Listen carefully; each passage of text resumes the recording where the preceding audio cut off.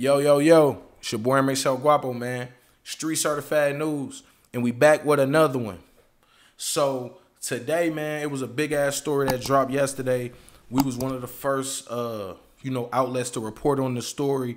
Um, it's been a lot of stuff going on with this guy, and it seems like I don't know if he's had enough, he ready to quit. But today we're gonna talk about the boy Quando Rondo, who dropped the Crip flag uh, in a kind of cryptic uh, Instagram story post. In the Instagram post, he basically says he no longer neighborhood Crip. He no longer, I think it was jump out. He no longer jump out gang. He no longer neighborhood. And we just gonna break down, you know, exactly why he did it, cause we think we know. For people who don't know, man, uh, the dude Quando Rondo was the artist that was uh, originally involved uh, in the deadly shooting of uh, Chicago rapper King Von. He was not the shooter; his friends was. Um, and it all kind of stemmed from something that happened between Quando Rondo and King Von. Um, in the months and subsequently years since that passing, because I believe what has been a year, almost it's been over a year now since the passing. Um, Quando Rondo, you know, he's never been very humble about the situation and he's never uh, you know, showed I think the humility that he should have showed and and and, and you know, being sad for a person who passed um, all of this is is been catching up to him. Like I said, in these past few months, this past year, he's not been able to do shows. He's not been able to, you know, make appearances or or, or do these big festivals because people are afraid of what people are gonna do to Quando Rondo. Um, he himself also has been a little bit afraid of what people gonna do to Quando Rondo, and as a result of that, he reached out to you know some unnamed. We're not gonna name no names, but he reached out to some unnamed, high-ranking people within the organization that he was claiming. Um, these people have gone on to make statements, and they basically said like, "Look, man, dude waited till." You know the heat was on him before he reached out to us, man. You know, people not crash dummies, man. People not gonna rock with you just cause you in danger or you feel like you need their protection. You wasn't willing to reach out to people when you was, you know, at the top, feeling like you was untouchable. Well, then now that people was starting to get touched, this ain't really the time to reach out. And you know, people let him know that. Um, just last week, sadly, one of his uh, another one of his friends, Lul Pab, was killed uh, when Quando Rondo was the supposed target of a drive-by shooting while he was in Los Angeles, downtown Beverly Center, a very uh, nice, uh, swanky area. Um, some dudes ran down on him when they was at the gas station. Uh, somebody dropped the low. He, they got the low. They slid on him, and as a result of that, now, like I said yesterday, just yesterday, Quando Rondo has now dropped his Crip flag. He no longer neighborhood Crip. He no longer uh, what rolling sixties, uh, jump out. He's bringing. He's he's putting the flag down. Now it's funny because he said that. Oh, I can't never stop banging, or you know, it, it never died, which is true, and and that's why him putting the flag down to me personally is a little puzzling because you know, of the people who do have your back still, if there's any of them left, chances are they was part of that group, man, that you just said you ain't rocking with no more. Now let's get into the, you know, the title of the story. Man, it was some dudes out here extorting Quando Rondo, man. Let's keep it a hundred. You know what I'm saying? Quando Rondo made statements surprisingly close to his shooting and surprisingly close to him going out to LA. Um, Quando Rondo made statements that, man, I don't gotta check in. Um, and then once this happened, you you know you know now he's dropping the flag. So the issue, the rumor is that Quando Rondo, he was being extorted. He was being extorted by some very powerful guys, most likely uh people related to the the people that he reached out to following, you know, the shooting death of King Von. Um, these guys basically let him know, look, bro, we not your friend, we not your homie. We don't, you know, we not vouching for you, but when you do come to our town, you got to check in and you got to pay that tab. Um, so these statements, the statements that Quando Rondo released right before going to Cali, where he said, "Oh, I don't got to check in," oh, you know, that ain't on me, I ain't checking in. Those were really subliminal statements to people who he had spoke to in private. Like I said, he was on his way to Cali. He knew he was going to Cali and he reached out to these guys and these guys said hey man come on through just make sure you check in and pay your tab And Quando Rondo's response was, Well, I don't gotta check in, I'll just hire security.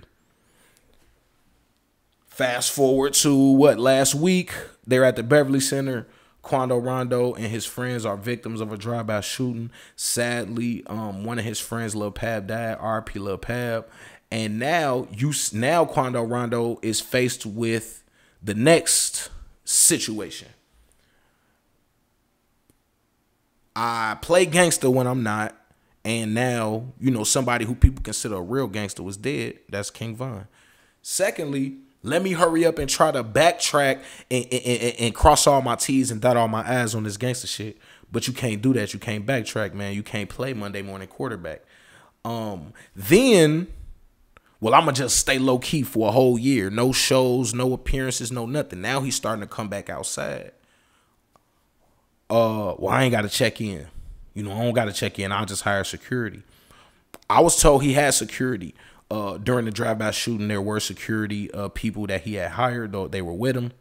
I don't think it helped in that situation, but it just goes to show you that faced with you, you don't, you know, you got a lot of ops. The people who you claim should be on your side are not on your side. The people who probably gave those guys the the vouch, they want some bread. You believe that security can handle it all and when you go to LA, the first thing that happens is one of your best friends that you've known even before you was a rapper is shot and killed.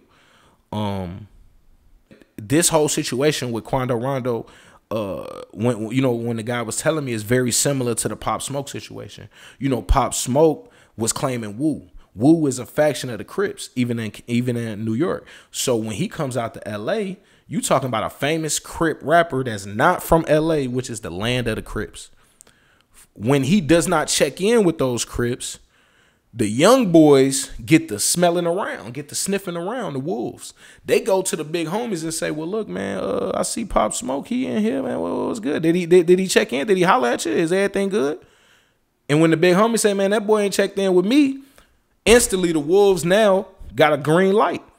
So Quando Rondo, man, this is the same situation I have with Quando Rondo. I don't got to check in, this, that, I'm cripping, whatever. But when you're not checking in with them people, you instantly become a target because who gonna keep the wolves off your ass? You don't got the wolves with you, and you don't even got the wolves' permission to be in their land.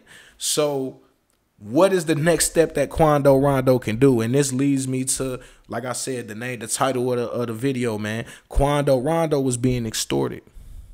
Quando Rondo thought that he was a real street dude and he thought that he had street dudes around him. But once King Von passed and the full brunt of the streets start coming to him from all angles, he reached out. Nobody reached back. But they did send a ticket. Hey, bro, pay this ticket and we won't be on your ass. We'll be a motherfucker who you ain't got to even worry about as long as you pay the ticket. But when you don't pay the ticket, now you got to worry about everybody.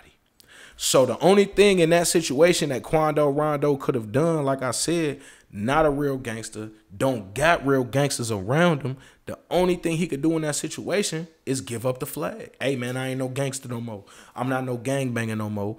And them gangsters and gangbangers that was with me, they riding for the real people. They ain't riding for Quando Rondo, and he know that. And that's why he said, hey man, I can't ride for people that don't ride for me. Look, man, ain't trying to make this video too long, man. Like I said, I just wanted to let y'all know, man. Um, you know, I got some information. I was talking to some people. The real reason why Quando Rondo uh dropped his flag is because he was being extorted in order to keep the flag. And as long as he wasn't paying, all types of different situations, shootings, people pulling up, it was gonna keep happening. So the only way that he could not get extorted and not have to worry about violence, which he still could see violence, but in his brain, the only way that he could get out this situation was to drop his flag.